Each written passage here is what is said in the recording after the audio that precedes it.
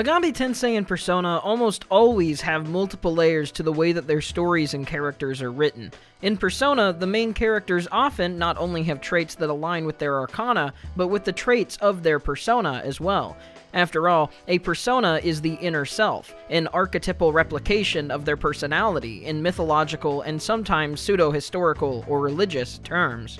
They aren't just written on this basis either, as they most of the time are also written to correlate with how the other characters and personas within the story are within their mythological context, or as with Persona 4, within the mythological underpinning message of the game itself.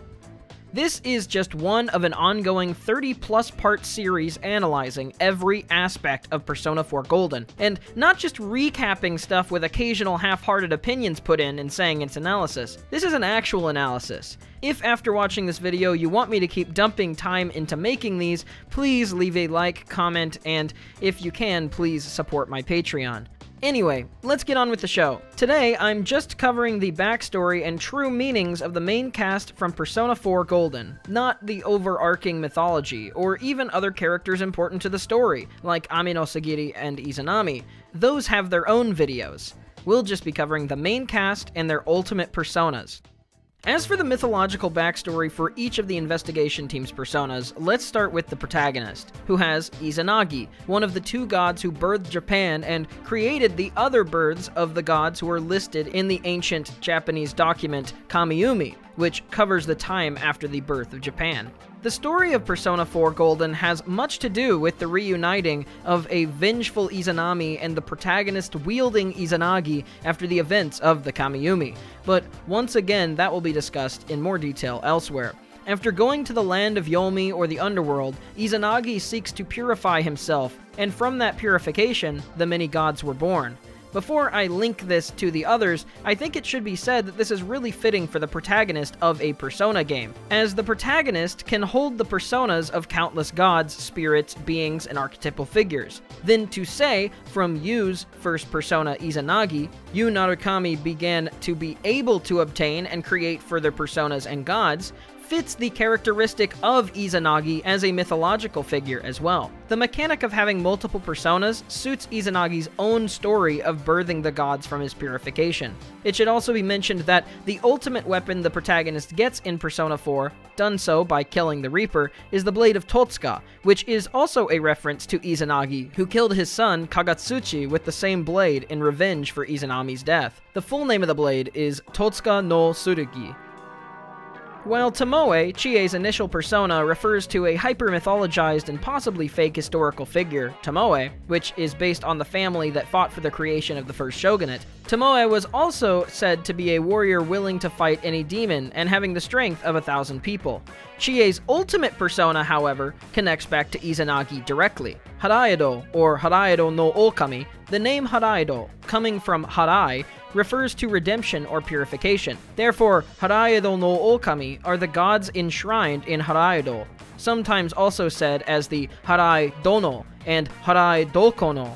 On the day that Izanagi performed the great Misogi no Harai, or purification rite, upon leaving Yomi in his own story, the gods of purification were born, one of which being the birth of Chie, or her ultimate persona, Haraido no Okami. Yukiko's ultimate persona is, of course, Amaterasu, and is a pretty culturally well-known kami even outside of Japan. But who is Amaterasu? Well, Amaterasu is a female goddess of the sun, who was birthed alongside Chie during the purification process, exactly when Izanagi washed his left eye. Amaterasu is the god of sunlight, a great overlooking being, her Japanese name roughly meaning the great divinity illuminating heaven. Yukiko's initial persona is Konohana Sakuya, who is said to be goddess over the volcanoes and sakura blossoms. I mention this because the ultimate fire move in Persona 4 Golden, only accessible to Yukiko, is a severe fire type move called Burning Petals, which animates as a blossoming flower. Yosuke's ultimate persona is Susano, who was also birthed from the same Harai that Yukiko and Chie came from, this time from washing his nose in the purification process. Susano is also the brother of Amaterasu, and they have many stories listed together. It should be said as a small bonus that in the Persona 4 fighting games, you may recognize Tsukiyomi, who is actually another god birthed from Izanagi from washing instead this time his right eye. The reason I throw in this bonus fact here is because in terms of personas born of the purification process, these are the four that directly connect back to it. So Chie, Yukiko, and Yosuke were born from Izanagi in his purification, or the protagonist. It was the players arriving that entered into their lives, and almost immediately, and at that same rough time, that being before the first dungeon's completion, awakened them to their personas through this alternate realm.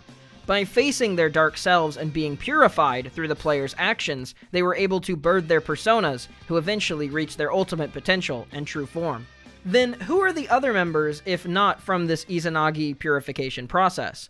Teddy, who of course for an unknown length of time had already existed among the shadows and partially developed himself and his ego, has the ultimate persona of Kamui Moshiri, which is actually not a single person or thing at all, but is instead an alternate world entirely outside of humans, where all Kamui dwell. When the Ainu people of Japan went to worship the Kamui, they worshipped to the place of Kamui Moshiri. This makes sense as the shadows in the alternative world inside of the TV all take the forms of various kamui, or spirits and gods. This sort of makes his ultimate persona mean that he is the god of the TV world. His persona also takes form of a rocket or a giant ship, as if he is in fact the literal representative for the world inside the TV, which of course couldn't fit him more perfectly. He also connects with another Persona user we meet later, so he's not completely separate from the others as it may seem now. The person most disconnected, perhaps, from the original story of Izanagi seems to be Kanji, his ultimate persona Dairoku Tenmao coming from Buddhism instead of Shinto tradition. He's actually the antagonist to Buddhists, and isn't really seen as a good guy.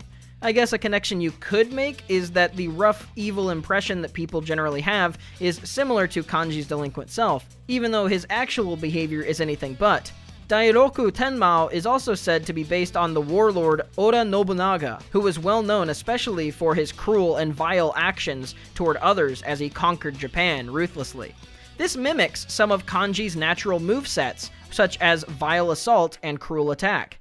It's not all negative, though. Nobunaga was also said to be a great unifier in Japan, so I believe the idea here is it's all about perspective, just like Kanji's rough exterior. He beats up people, sure, but he beats up gangs of people who are hurting others, and he wouldn't hurt his mother, a child, or any of the other residents in Inaba. While not his ultimate persona, and talked about more in Kanji's segment specifically, we should mention that Take Mikazuchi, his original persona, actually does originate from Izanagi. It's one of the eight gods that were born whenever Izanagi took the Blade of Totsuka and cut Kagutsuchi into bits.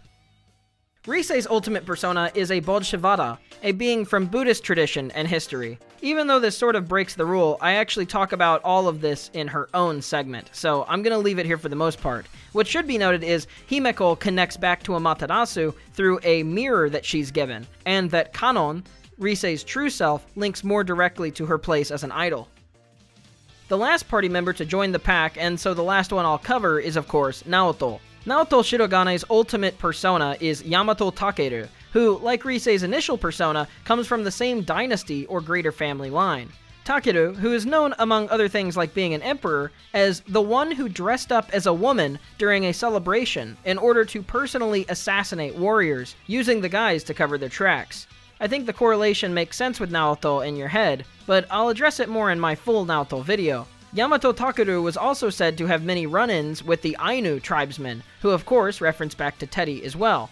But I think more specifically, this idea of dressing the opposite sex to assassinate your enemies comes back to how Naoto put on the clothes of the opposite sex so that she could be accepted by the police force who otherwise seeked to invalidate her. I can't wait to cover how these characters play into their mythological roles in not a just kind of on the nose summary type of position in Persona 4 Golden as a whole, but I hope you enjoyed this surface level yet also overly researched video. I'm not immune to flaws. If you have any questions or thoughts, please leave them as a comment below and like as well as share this video where Persona fans can be found and for whoever might find them interesting. There's plenty more videos to come, and if you didn't feel satisfied by the amount of detail here, I assure you they will be covered in more than full enough detail in their own individual segments. Thank you again, and see you soon.